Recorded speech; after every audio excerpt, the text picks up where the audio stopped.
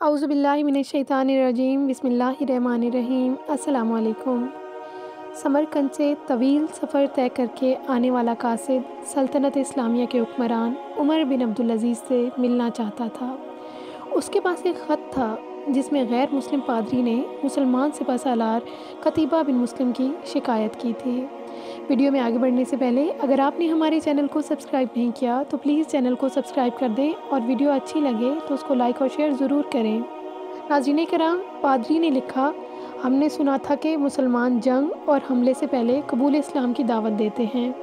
अगर दावत कबूल ना की जाए तो जजिया देने का मुतालबा करते हैं। और अगर कोई इन दोनों शराइ को कबूल करने से इनकार करे तो जंग के लिए तैयार हो जाते हैं।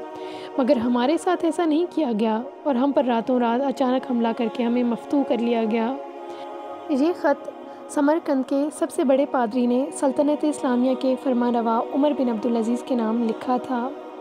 नाजीन कराम दमिश के लोगों से शहनशाह वक्त की क़यामगाह का मालूम करते करते वो कासिद एक ऐसे घर जा पहुँचा कि जो इंतहाई मामूली और ख़स्ता हालत में था।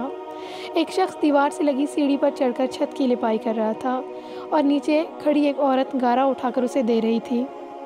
जिस रास्ते से आया था, वापस उसी रास्ते से उन लोगों के पास जा पहुँचा, जिन्होंने उसे रास्ता बताया था।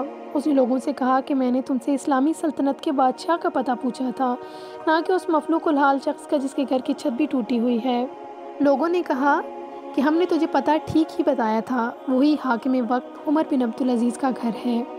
कासिद पर मायूसी छा गई और बेदिली से दोबारा उसी घर पर जाकर दस्तक दी, जो शख्स कुछ देर तक लिपाई कर रहा था, वही अंदर से नमोदार हुआ।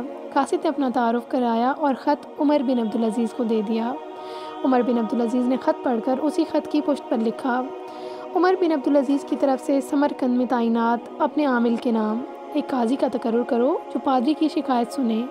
मोहर लगाकर ख़त वापस कासिद को दे दिया। नाजीन कराम, समरकंद लौट कर कासिद ने ख़त का जवाब और मुलाकात का अहवाल जब पादरी को सुनाया तो पादरी पर भी मायूसी छा गई। उसने सोचा, क्या ये वो ख़त है जो मुसलमानों के उस अजीम लश्कर को हमारे शहर से निकालेगा? उन्हें यकीन था कि कागज़ का ये टुकड़ा उन्हें कोई फ़ायदा नहीं पहुँचा सकेगा। मगर कोई और रास्ता भी ना था। चनाचे ख़त लेकर डरते डरते अमीर लश्कर और हाकिम समरकंद कतीबा बिन मुस्लिम के पास पहुँचे। कतीबा ने ख़त पढ़ते ही फ़ौर एक काजी का तयन कर दिया, जो उसके अपने ख़िलाफ़ समरकंदियों की शिकायत सुन सके। काजी ने पादरी से पूछा, क्या दावा है तुम्हारा? पादरी ने कहा कि कतीबा ने बग़ैर किसी पेशगी इतला के हम पर हमला किया। ना तो उसने हमें इस्लाम कबूल करने की दावत दी थी और ना ही हमें किसी सोचो बुचार का मौका दिया था। काजी ने कतीबा को देखकर पूछा, क्या कहते हो तुम इस दावे के जवाब में? तो कतीबा ने कहा कि काजी साहब, जंग तो होती ही फरेब और धोखा है। समरकंद एक अजीम मुल्क था। इसके करबो जवार के कमतर मुल्कों ने ना तो हमारी किसी दावत को मानकर इस्लाम कबूल किया था और ना ही जजिया देने पर तैयार हुए थे, बल्कि हमारे मुकाबले में जंग को तरजीह दी थी। समरकंद की ज़मीनें तो और भी सरसब्ज और शादाब और ज़ोरावर थी। हमें पूरा यकीन था कि ये लोग भी लड़ने को ही तरजीह देंगे। हमने मौके से फ़ायदा उठाया और समरकंद पर कब्ज़ा कर लिया। खाजी ने कतीबा की बात को नज़रअंदाज करते हुए दोबारा पूछा, कतीबा मेरी बात का जवाब दो, तुमने उन लोगों को इस्लाम कबूल करने की दावत, जजिया या फिर जंग की खबर दी थी। कतीबा ने कहा, नहीं काजी साहब, मैंने जिस तरह पहले ही अर्ज़ कर दिया है कि हमने मौके से फ़ायदा उठाया था।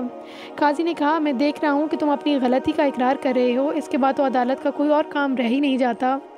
अल्लाह ने उस दीन को फ़तह और अजमत तो दी ही अदल इंसाफ की वजह से है, ना कि धोखा दही और मौका परस्ती से। मेरी अदालत ये फ़ैसला सुनाती है कि तमाम मुसलमान फ़ौजी और उनके अहदारान बमा अपने बीवी बच्चों के अपनी हर किस्म की इमलाक और माल गनीमत छोड़कर समरकंद के हदों से बाहर निकल जाएँ और समरकंद में कोई मुसलमान बाकी ना रहने पाए। अगर इधर दोबारा आना भी हो तो बग़ैर किसी पेश की इतला दावत के और तीन दिन की सोच विचार की मोहलत दिए बगैर ना आया जाए। पादरी जो कुछ देख और सुन रहा था, वो नाकबिल यकीन था। चंद घंटों के अंदर ही मुसलमानों का अजीम लश्कर काफ़िला दर काफ़िला शहर को छोड़ के जा चुका था। समरकंदियों ने अपनी तारीख में ऐसा कभी नहीं देखा था कि जब ताकतवर फ़ातह कौम, कमज़ोर मफतू कौम को यूँ दोबारा आज़ादी बख्श दे ढलते सूरज की रोशनी में लोग एक दूसरे से सरकोशियाँ करने लगे कि ये कैसा मज़हब और कैसे पैरोकार हैं। अदल का ये मैार कि अपनों के ख़िलाफ़ ही फ़ैसला दे दें और ताकतवर सिपा सलार इस फ़ैसले पर सर झुकाकर अमल भी कर दें।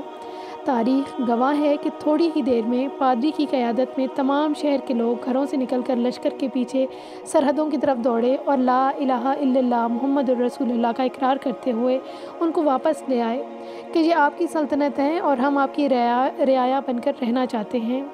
और हमें इस बात में फ़ख्र है दीन रहमत ने वहाँ अपने ऐसे नकूश छोड़े कि समरकंद एक अरसे तक मुसलमानों का दारुल खिलाफा बना रहा। कभी रहबर दो हज़रत मोहम्मद अलैहि वसल्लम की उम्मत ऐसी हुआ करती थी। आज गैर मुस्लिम तो दूर की बात, मुसलमान से मुसलमान को कोई अमान नहीं। मिलते हैं एक नई वीडियो के साथ। तब तक के लिए अल्लाह हाफिज़।